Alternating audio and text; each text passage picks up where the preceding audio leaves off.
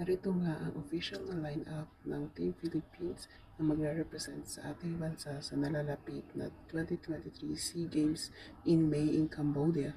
Nangunguna nga sa listahan si Eliza Valdez, Gia de Guzman, Sed Domingo, Gemma Galanza, Tots Carlos, Michelle Gumabaw, Kali Atenza na pawang galing lahat sa Creamline. Ito rin sa listahan si Jel Cayuna, Claudine Troncoso, Del Palomata, Jerry Nuna, Kat Tolentino, Mylene Paat, at syempre si Kat Arado. Go, go, go Philippines! Kaya nyo yan.